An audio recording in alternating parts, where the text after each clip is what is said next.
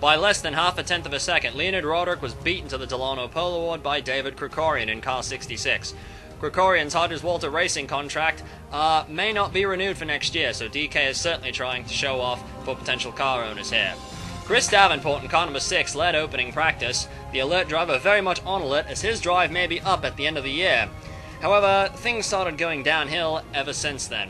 Uh, Davenport's form in second practice didn't improve, and there were actually quite a few strange incidents that happened uh, after the uh, first practice session. In practice two, there was a power outage here at the circuit, which uh, was is disastrous because that was on Friday night, and uh, Gabriel Messina nearly had a very large incident uh, in turn three. Messina is of starting this race with his backup car, and this all comes right after the announcement that this could be the very last year that the TM Master Cup Series races here at the Autodromo Daniel Estevan. Of Daniel Estevan, of course, the uh, the famous Brazilian driver who raced in uh, not only in Formula A but in uh, in Indy cars as well. There you see Gabriel Messina driving the car he ran uh, attempted Indianapolis with, starting at the back of the field. But this has been a very uh, it's an odd weekend. Dan, off to you. Thank you, Lance. Uh, this interesting Saturday night race has been kicked off by David Krikorian. The start was delayed by 15 minutes because of another power outage here at the circuit, so uh, things aren't exactly going so well for this event so far. We hope nothing of that magnitude happens again. David Krikorian got Adrian Devereaux, his teammate, on the inside. This is the first lap. Adrian Devereaux is definitely not playing nice. He's going for the lead, and I think DK was a little surprised. I don't think he expected Devereaux to do a dive bomb on that, but Devereaux is a title contender. He's got a championship to win. So does this man, Michael Sykes, in car number five. Devereaux trying to become the first man to win three Master Cups in a row.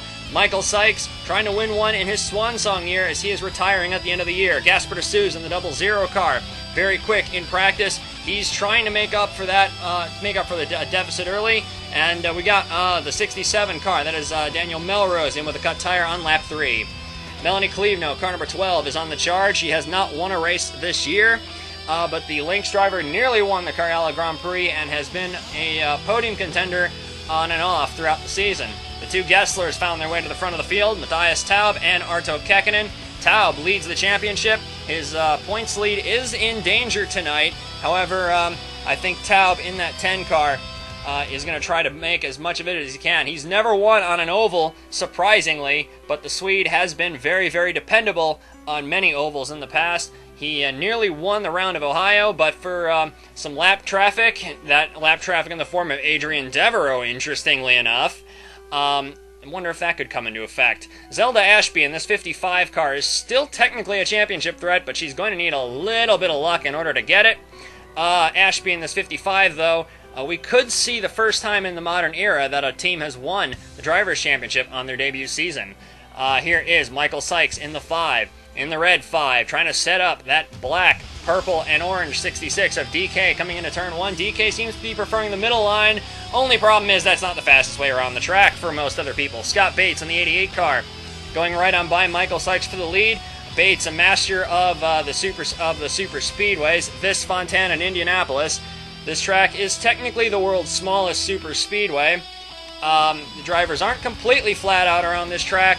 Um, at least late into a run. On the first couple laps of a fuel run uh, and a tire run, rather, they seem to be. Chris Davenport in the six car going, uh, trying to get around Arto and Arto doesn't quite shut the door, gives Davenport enough space. A little early for anything silly, really, because, uh, uh, well, we've got, of course, any accident here could be absolutely massive. We've seen a couple uh, very unfortunate accidents here in the past. Packer Carroll back in the two car. Um, the Volpe let him back in this car. They have full confidence in him. They're going to try to get Packer into victory lane before the end of the year.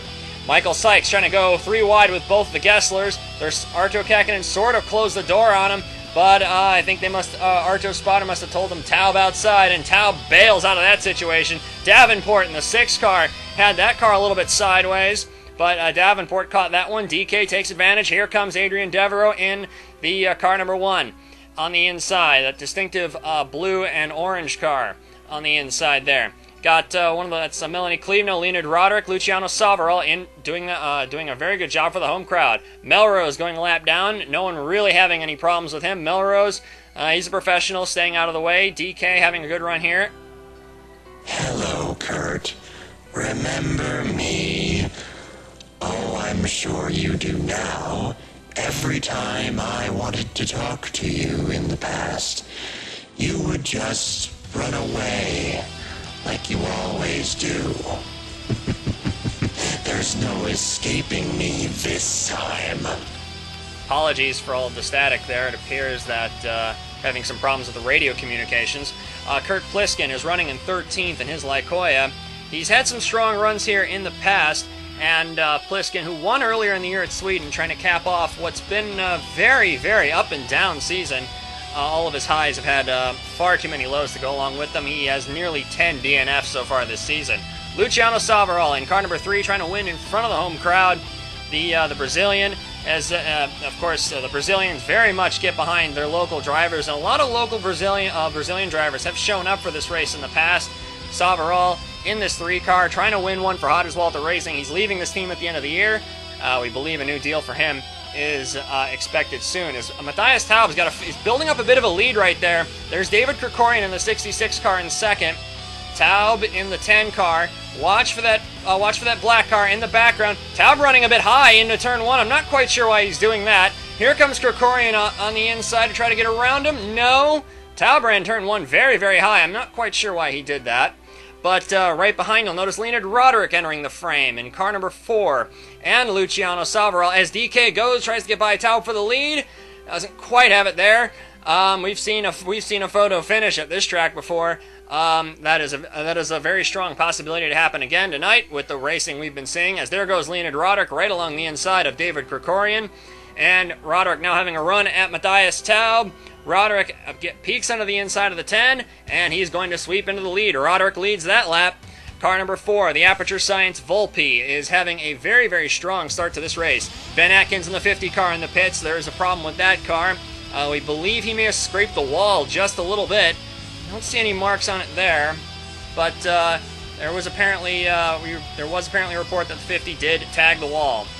And Arto Kekkonen. Since you seem to have so many problems going quickly, I think I'm going to make sure that you die slowly. It's at a pace you're familiar with. Um, I didn't hear anything there. Uh, that's interesting. Yevgeny Kuznetsov in car number 8 was uh, also one of the drivers that was, uh, he was particularly quick in practice, but only on long runs. He doesn't seem to have the short run speed in this uh, car number 8. He's got a new teammate this week in Dan McKay, and actually Dan McKay has also been having rather uh, good luck on long runs in uh, the car number 7. The car right in front of Kuznetsov, that is Gabriel Messina making his debut in the series, car 170. Uh, the the Animax car, and then right alongside him is Scott Stoidler in the Manticore. Here's Melanie Klevno in car number 12, and is letting Scott Bates go on the inside. Packer Carroll coming up behind the uh, coming up behind Melanie there, and there's Ben Atkins trying to hold the line. Ben Atkins has sometimes had a problem with doing that this year. Um, the 50 cars uh, sort of been a nuisance this weekend, but uh, he uh, picked it up in qualifying. Uh, and uh, outqualified Rossini, which is something that I don't think we've seen all that much. It doesn't feel like it at any rate. Here's Greg Woodard in car number 41. He's been having a uh, decent night so far. Woodard and uh, that 99 car, Ebenezer Quiggles Jr., have slowly been making their way through the For field. some reason, I feel like impaling you on a spear. What the hell was that, Mike? Was that you? No, For that, your death will be more painful than I originally intended. Well, Uh, Mike, did you hear that too, or was that only on my end? okay, so it appears that, um, well, that's interesting. Can hear what the drivers are saying, but not what the crews are saying. Luciano bails for the pit lane. Adrian Devereaux comes flying in pits very late to commit in. That that was almost a collision between the Hodges Walter teammates. Devereaux was going to pit with the three car apparently, no matter what. Devereaux very much determined to beat Savaral, especially now that Savaral is leaving the team. Devereaux is trying to make a statement here that uh, Luciano is indeed no match for him. Oh, whoa, whoa! I thought that was going to happen. The 41 car pulled out right in front of Kevin Dwyer. Don't think Dwyer expected that. And uh, oh, we got the three car sideways in the pit lane. Luciano sideways in the middle of the pit lane, and that's going to be a post race investigation, I would expect, between Greg Woodard and Kevin Dwyer. And uh, Woodard merging back onto the track. Doesn't look like there's any damage to the 41. And uh, looks like we may have a look at what's going on here with Matthias Taub. Oh, Ashby was trying to pit in. And oh, he just ran right into the back of Luciano Savaral. Taub was determined to gun it and get out and uh, clear Ashby before Ashby uh, turned into her pit stall. I'm not quite sure why he thought that was going to work, and for and for for the guy who's leading the championship, that's a really really critical mistake. Um, he's uh, there's def, definitely de- oh we got 41 up in smoke, so that contact with Dwyer must have done some damage to the right front suspension on that car. But um, considering the amount of smoke coming out of that car, that could be completely unrelated. Uh, Woodard, car 41. Oh, come on, not again. Now that your race is over, get a good look at Mike. Because it may be the last you ever see of him.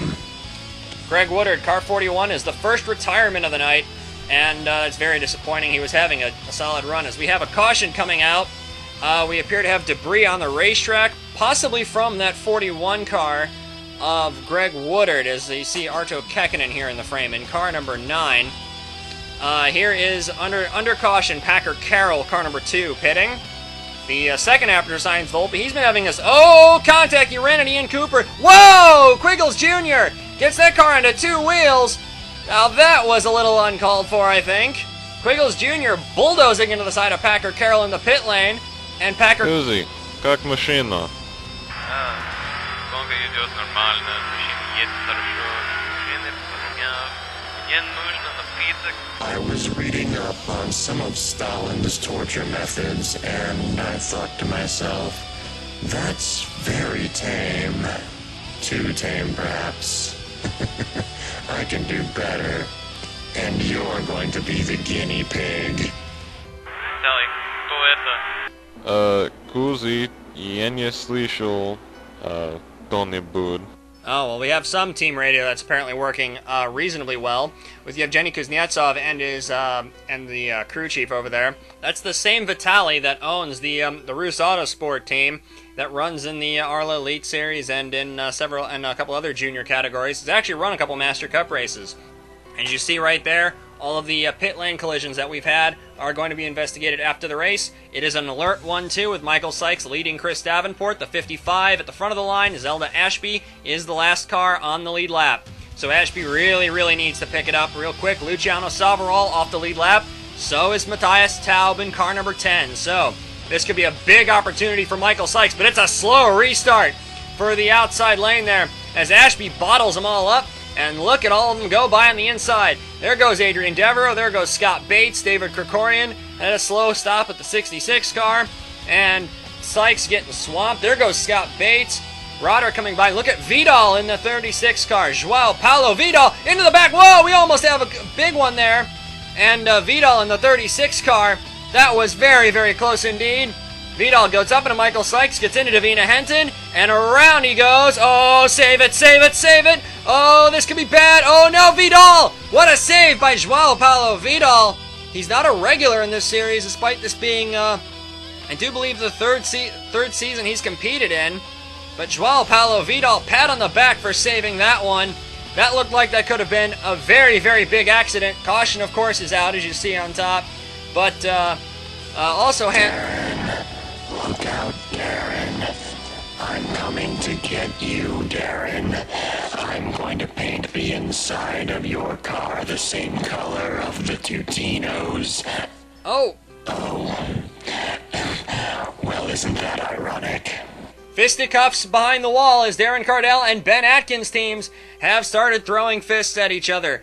Uh, we'll update you on that as it progresses. As Carlos Donzello in the 03 car, running one of the, one of his FinTech cars from earlier in the season. This is a road course car, but uh, Ian Masterson um, uh, has kind of borrowed this car from FinTech. That's why all of their uh, FinTech sponsors are still on the car.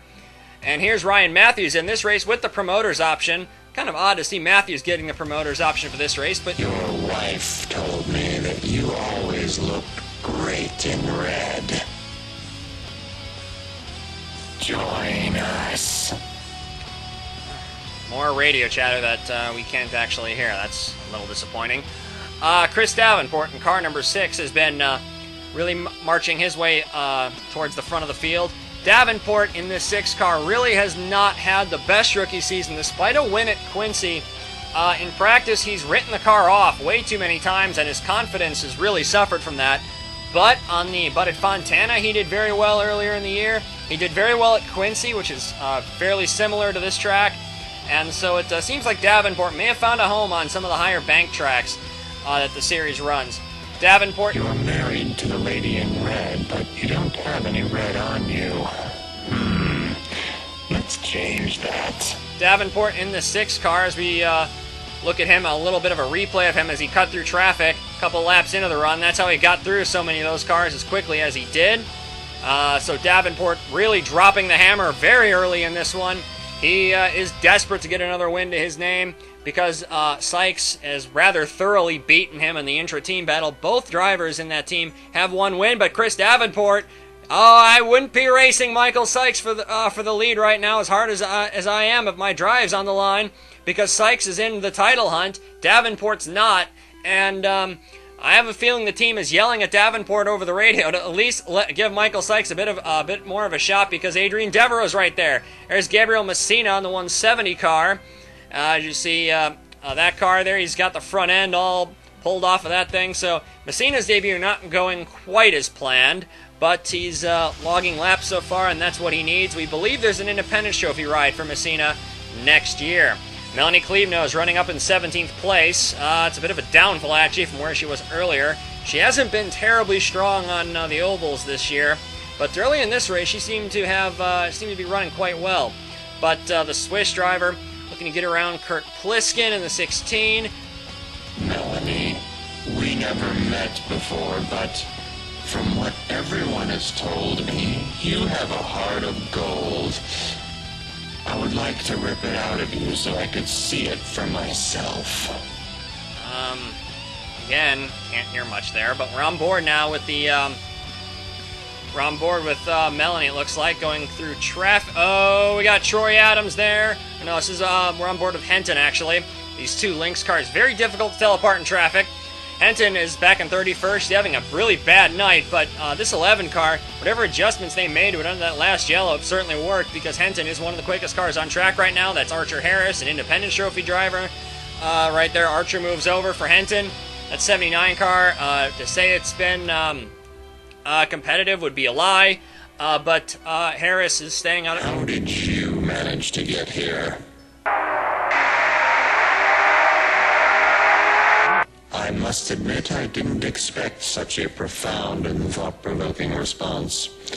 From the bottom of my heart, Mr. Quiggles, I thank you for this conversation, and I hope we talk again sometime soon.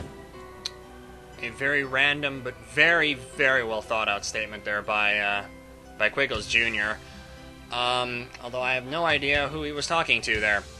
Uh, because I couldn't hear anything. Here is Dan McKay in the second cat, so we haven't shown him all night, but uh, he's having a very strong night. He's uh, all the way up in seventh. He started way in the back after uh, nearly wrecking his car in qualifying, but um, the Canadian easily having his best run uh, to date in this series. So Dan McKay coming back very strongly. Uh, Leonard Roderick in car number four pits on lap 99, so we're at the two thirds distance, or very close to it. And uh, Chris Davenport, who's who's currently leading the race, is uh, waiting a little bit longer to pit. Here he comes in, lap 101. Car 6 hits pit lane. Kekkonen follows suit in car number 9. As we got a problem on track for the second Volpe of Packer Carroll in car number 2. This time, not of his own doing. That is a random mechanical failure, and that's bit, that's very disappointing because Packer uh, well, in that 2 car needs a good run, I think, to boost his own confidence, as Matthias Taub in car number 10 has assumed the lead of the race. Uh, there you see Kurt Pliskin there in the 16. Messina staying out of everyone's way. It's good for a rookie. Um, Gabriel Messina having a strong uh, debut, I think. Uh, Taub in this 10 car, though, he's never won in an oval. He's been close, though, a couple times. Davenport going under Roderick, and he's going right on by. As you may have also noticed, um, the 11 car has certainly been throwing the dice on pit strategy, so um, Davina Henton could be a very serious contender here as the night wears on. Davenport, though, in the 6 car, uh, fastest lap of the race in car number 6. Kevin Dwyer in car 72 is running back in 30th place. The Junos have not been particularly. Kevin, your father is very disappointed in you. Would you like to meet him again so that he can express his disappointment in you properly? Well, uh, Kevin Dwyer, the son of the uh, late six-time Master Cup champion Benny Dwyer, running back in 30th. The Juno has not been terribly wor- has not been working terribly well on this track, and uh, hopefully uh, we can fix these radio problems by the end of the night. Matthias Taub in car number 10 is uh, still hanging on to the lead. Ian Cooper back there in the triple seven car. There's a lot of guys I'd feel um, safe uh, behind me. That is not one of them. Joao Paulo Vidal in the 36 car is running in second place. Uh, so the, the uh, diminutive Brazilian could steal the Independence Trophy lead with a strong finish. This is his last Independence Trophy run. He wasn't even expected to have an Independence Trophy run at all, but Ian Masterson's team filled the void that Evans Motorsports left, and he's making the most of it. But he's I think he's going to need something like a podium finish in order to take the Independence Trophy lead. And uh, again, he doesn't want to let that 11 go by because Chris Davenport's coming, and Davenport is running in third. Uh, he doesn't have much of a choice there. The Gessler powered Lynx car of Henton just flies right on by. Henton up into second. Davina, I remember a few years ago you told me that you wanted to die while wearing your favorite dress. I hope you're wearing it right now. Uh, guys, did, uh, uh, anyone else hear that? Henton's hearing something going on with that car, maybe. Um, so this, there could be a big problem going on with that 11 car. And uh, there you see in the background Davenport going around the uh, 36 car of Vidal. Donzello is taking his loaned FinTech car up to 14th place, so definitely he's giving the home crowd something to cheer about. As Messina, I don't think Messina quite saw him there, but uh, Donzello has gotten has been on the pole here in the past, so he certainly knows his way around this joint. Here's the sixth car of Chris Davenport, who's really impressing me tonight in this uh, American Launch Energy Racing Team Inglesby. The uh, the future of Alert, Inglesby, and Davenport is all very much up in the air. We're not quite sure what's going to happen. Um, we could see an Alert tie-in possibly with uh, Lennard because Lennard's slated to come back in the series. Michael Sykes in the five car uh, has been uh, linked with a sort of breakaway team with this uh, with this this squad could split into two different organizations with um, Alert going one way and um, and uh, what's left of Flash Racing that's uh, in that team going another way. So Davenport uh, ch- trying to chase down Davina Henton in the 11 right here. He's got to deal with Lewis Kingston, Kevin Dwyer still out there. 72 car really not handling well, and it shows. The 74, his teammate Zach Duff is having an equally disastrous evening. But uh, Davenport in the six car, definitely trying to save his career. He's trying to set up Henton. There's Henton's teammate, though, up there, Melanie Cleveno, and I don't really think Davenport wants to see that because I have a feeling that Cleveno is not going to help his case. Quiggles Jr. is up into ninth place, who's, ch- who's chasing, of all people, Robert Nelson down for eighth. Quiggles Jr. is having a very strong night, very quiet evening for this 99 car in that uh, in that blue livery that he's got there, that blue and green um, going on there. but uh, right, uh, but uh, Quiggles Jr. ran in the Arla series last year, so he's got a lot of short track experience, even though it's not really a short track. Robert Nelson in is running up in eighth place in the 06 car now. He has very, very little experience, but he's redeeming himself this evening in the 06 car. BKR, BKR Australia has really done a good job with that car. Right in front of them is Troy Adams in the 18 car. Now, Troy Adams has no ride lined up for 2014 because we have learned that he will not be returning to Nemoto next year. And note that vaguely worded term, returning to Nemoto because Isani could be buying into this team and he could be on board there. So this 18 car, um, we're not quite sure what. Oh, we got Kevin Dwyer up in smoke in the 72. So whatever problem is going on there, it's clearly terminal. Smoke. That's too bad. I was really looking forward to having some fun with you. Well, Dwyer's night comes to an end. They've had to detune those uh, Inglesby engines just to make sure that they last the whole distance. Davenport uh, in that six car has been content to run behind Karjala winner Davina Henton um, for a while. I'm kind of surprised he's waited as long as he has, but oh, he's bragging in a little closer. There he goes. He applies the pressure, sweeps on by. That's a very, very veteran move there by Davenport in that six car. Much, much to my surprise, because the, the Chris Davenport of earlier in the year might have just bumped the back of the 11 car and caused a huge crash, but that was a very, very controlled move by Davenport, and he has really been one of the stars of the evening because um, uh, this is just this is just sort of a breakout performance almost, even more so than his uh, than his win at Quincy earlier in the year, which he admittedly kind of backed into, but he's having a stellar night so far. Davenport now trying to get around uh, Melanie Cleveno. Is Cleveno going to give him a hard time? A little bit, it looks like. Uh, Cleveno not entirely giving him the most space, but just enough space. Uh, probably there. As you see, Matthias Taub in car number 10, not really having the best of luck with the lap traffic, but he's not exactly getting held up by them either. Um, so this 10 car has got a fairly solid lead right now, despite that front end damage he suffered earlier in the event. Leonard Roderick is up to fifth with Troy Adams, um, uh, ways behind him. So Roderick having a very strong evening so far in this four car. He's uh, he has uh, three wins this year, but um, Get out, fool. well, Adams in that 18 car had a pretty big slide uh, not too long ago when he was running behind Adrian Devereaux there in the one. So uh, uh, Troy Adams not exactly having um, an ideal handling car, despite the fact that he's having a strong showing so far and might have been burning his tires off too quickly. As Davenport is making a charge for the lead, he's trying to reel in Matthias Taub, who he's been slowly gaining on. Roderick's running in fifth, but everyone's going to need to make another stop again, uh, unless we get a caution late in the race. Um, so we have pit stops with less than 10 laps to go, apparently. Um, looks like we're seeing our, we're go- we're expecting people in around lap 145, which is Hey, uh, can one of you guys tell me who that yellow car is back there? Leo, do you remember me? Wait a minute, what? It's been too long since we've spoken. It, it can't be. Yes, it is. Roderick peels off. So we've got one car. We got the four car peeling off a little early.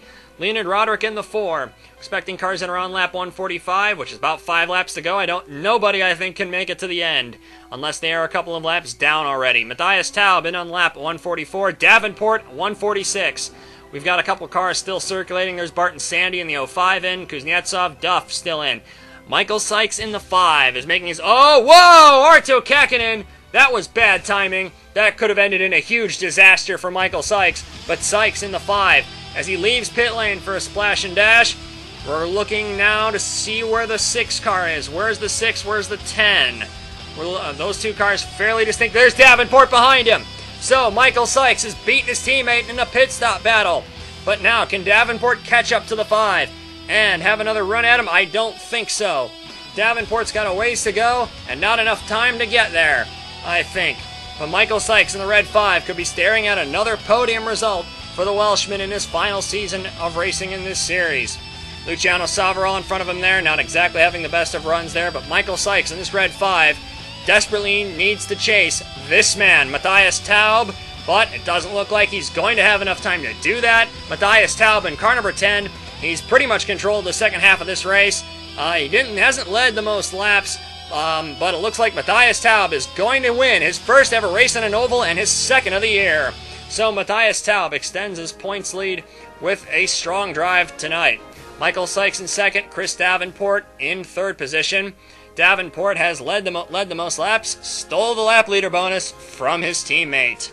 Davina Henton came home fourth. Roderick Quiggles Jr. of Vidal. All its strong runs. Arto Kekkonen, Pliskin, and Robert Nelson rounds out the top 10. Round of applause for the Australian. I don't think anyone expected that out of Nelson, uh, given what happened to him earlier in the year at Quincy.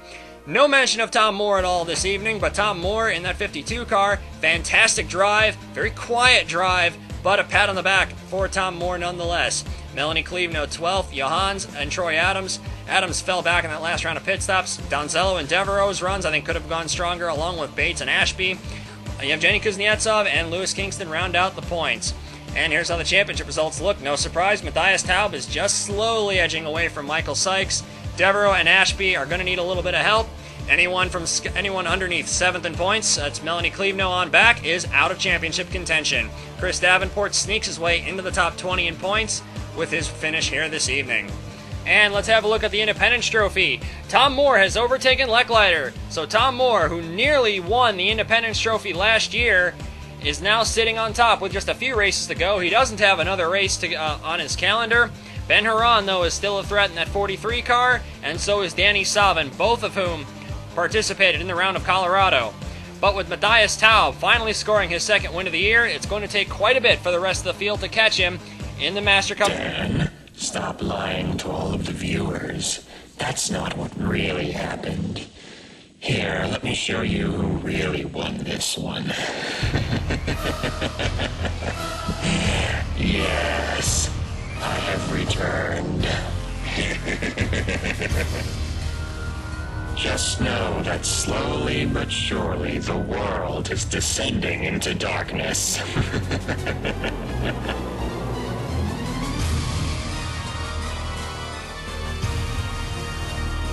We will meet again when you least expect it.